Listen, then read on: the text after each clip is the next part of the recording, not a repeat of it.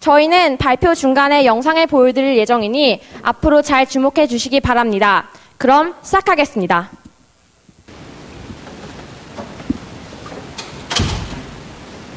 저 이번 월급이 안 들어와가지고 내가 알아서 할 테니까 일단 가서 청소나 해. 저, 저번 달이랑 저저번 달에도 월급이 안, 안 들어와가지고 좀 네가 사장이야? 나가 일반 빨리. 네.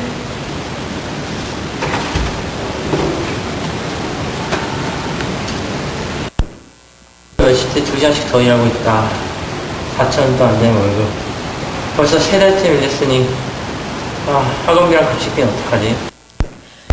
현재 민주주의가 발전했다고 하는 대한민국의 아르바이트 현장에서 청소년들은 정말 심각하게 노동 인권을 침해당하고 있습니다.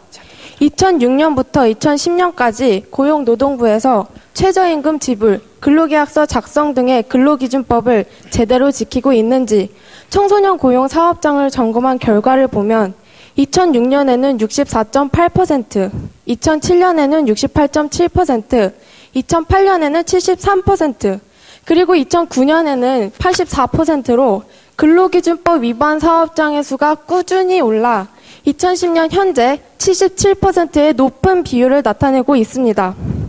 먼저 문제를 해결하기에 앞서 이 문제가 발생한 원인을 크게 네 가지로 나누어 보았습니다.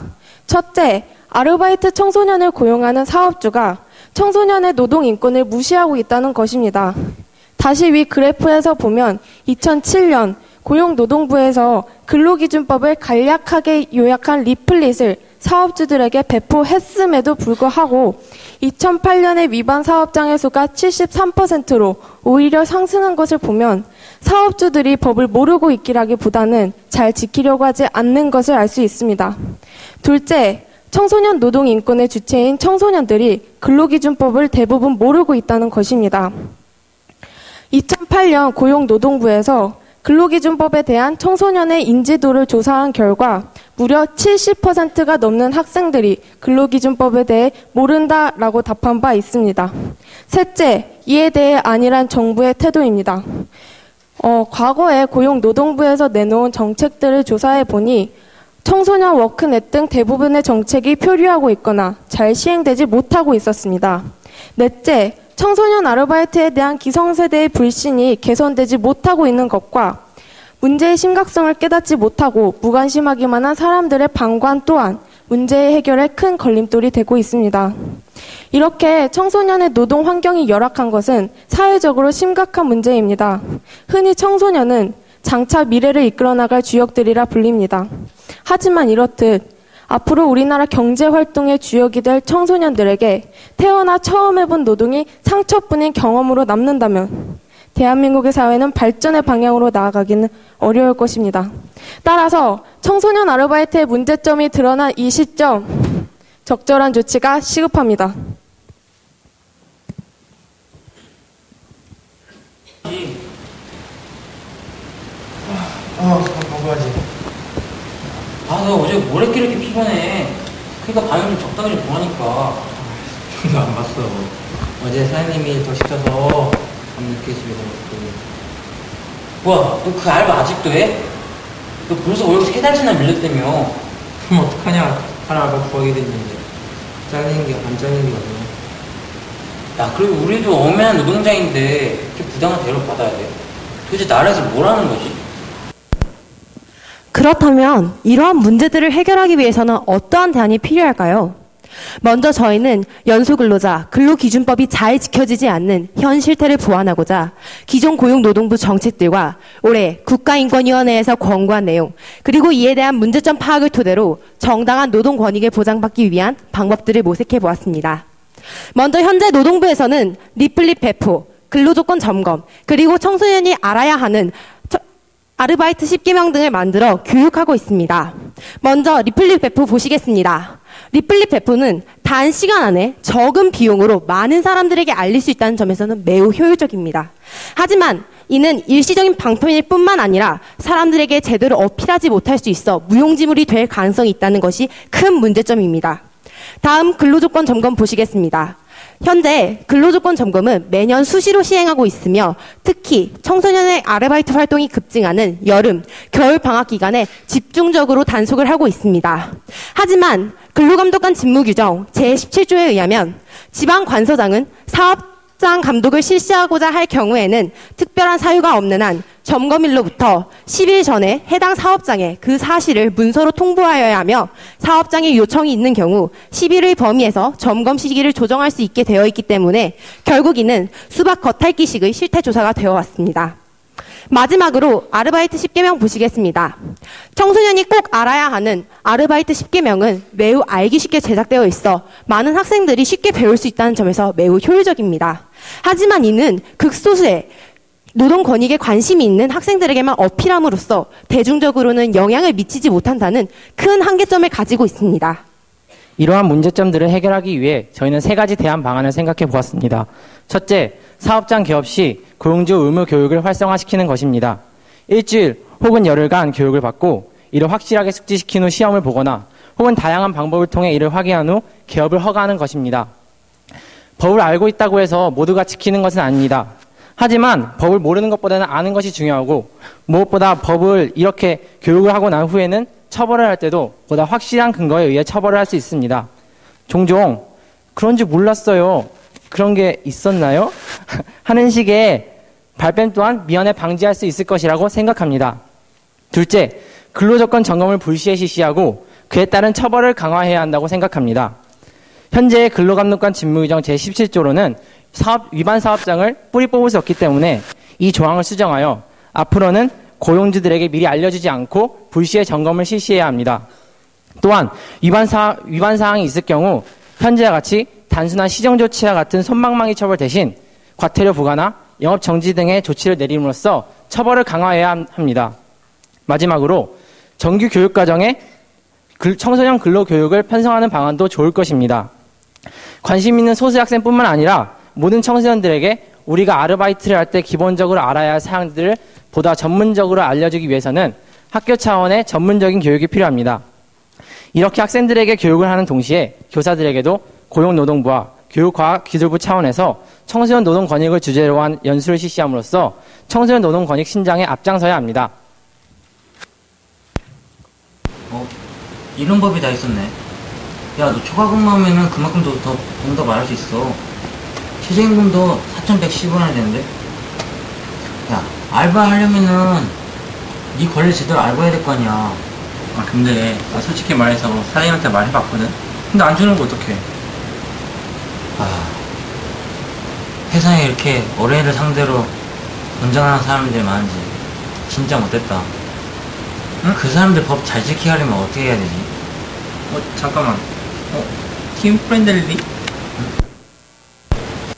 교육과 처벌 중심의 해결 방안으로는 실효성이 부족한 것 같아 저희는 새로운 공공정책을 생각해 보았습니다. 그것은 바로 teen friendly 정책입니다. eco friendly가 환경을 보호하기 위한 정책이라면 teen friendly는 근로 현장에서 청소년을 보호하기 위한 정책입니다. teen friendly, teen friendly 정책은 다음과 같이 시행됩니다. 먼저 매년 고용노동부는 사업장이 근로기준법을 잘 지키고 있는지 점검합니다. 그리고 나서 각각 점수를 매긴 후 일정 점수 이상을 얻은 사업장에게는 안전 근로 인증 마크를 부여하며 포상금 또한 지급합니다. 그렇다면 teen friendly 정책의 구체적인 실현 방안을 말씀드리겠습니다. 이 정책을 시행하기 앞서 가장 중요한 것은 사람들에게 teen friendly라는 슬로건을 홍보하는 것입니다. 그러기 위해 저희는 teen friendly 정책의 홍보 대사를 선정하고 홍보 영상을 배포해야 합니다. 현재 고용노동부의 홍보대사인 배우 유승호 군을, 유승호 군이 출연하는 CF를 제작한다면 많은 이들의 주목을 끌 수 있을 것입니다.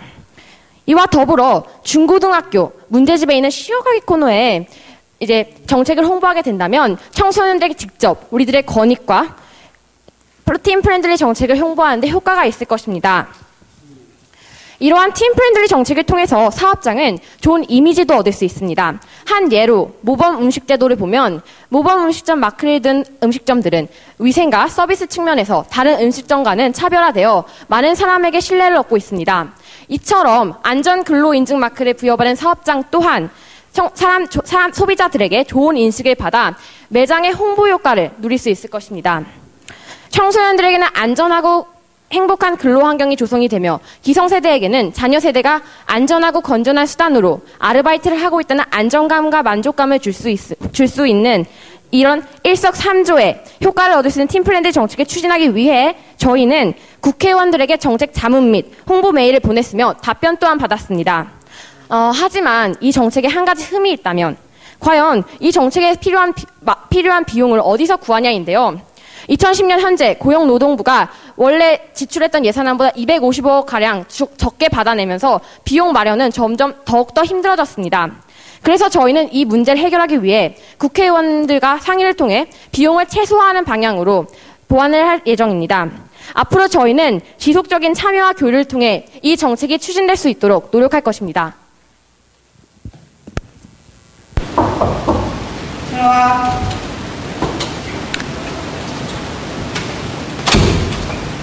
사장님, 오늘 안으로 밀린 월급 좀 주세요. 누가 안 준대? 준다잖아. 왜 이렇게 많이 많아? 주만 원줄 테니까 나가 일이나 해.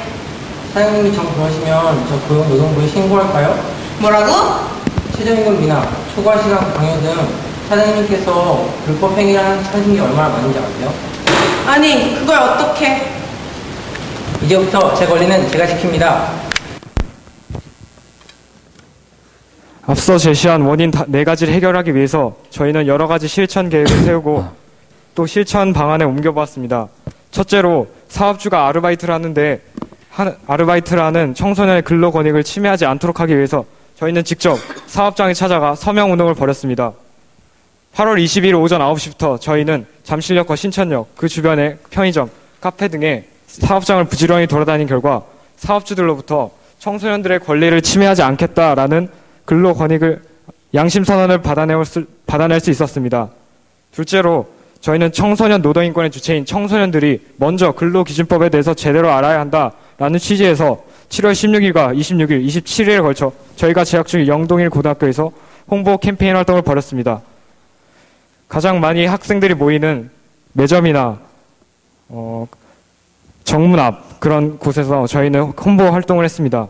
이렇게 그 결과로 많은 저희 학교 학생들이 아 청소년 아르바이트 하는 데에도 아 이런 법이 있었구나 이런 근로기준법이 있었구나 하는 것을 깨닫게 되었으며 실제로 아르바이트 하는 제 친구 중에 하나는 자신이 받는 대우가 부당한 대우였다는 것을 깨닫게 되었다고 말해 주었습니다. 셋째, 청소년 노동 인권 문제에 안일한 정부의 태도를 바로잡고자 고용노동부에 문제의 심각성을 제기하는 글을 올렸습니다. 또 1318 알잘잘 캠페인 인터뷰 자리에서 단순히 캠페인과 같이 생색내기식의 대처가 아닌 보다 실질적이고 근본적인 대책 마련을 주장했습니다. 실제 고용노동부에 올린 탄원 글과 정책 공강 사이트에 게시된 인터뷰 기사는 조회수가 각각 200건과 1000건을 넘어가는 등 많은 관심을 불러일으켰습니다. 넷째, 청소년 아르바이트에 대한 기성세대의 불신을 타파하고 사람들의 관심을 모으기 위해 다양한 방법으로 청소년 알바 10개명을 홍보했습니다. 먼저 온라인에서는 블로그와 트위터, 다음 아고라 등을 통하여 10개명을 강조하고 청소년 근로 인권 관련 사례를 알렸습니다. 또 오프라인에서는 7월 28일과 8월 22일 각각 신전역과 잠실역 등에서 유도인구가 많은 곳이기 때문에 좀 더 효과적일 거라 생각하고 그곳에서 노동부 리플릿 배포했습니다. 저희는 열심히 땀 흘리는 청소년들의 노동이 헛되지 않게 하기 위하여 그들이 태어나 처음 해본 노동의 결실이 아름다운 열매를 맺을 수 있게 하기 위하여 최선을 다했습니다. 이러한 저희의 움직임이 비록 나비의 작은 날개짓에 불과할지라도 이 날개짓에서 일어난 바람이 모이고 모여 큰 태풍일 때까지 저희는 지금처럼 끊임없이 참여하고 소통해 나갈 것입니다.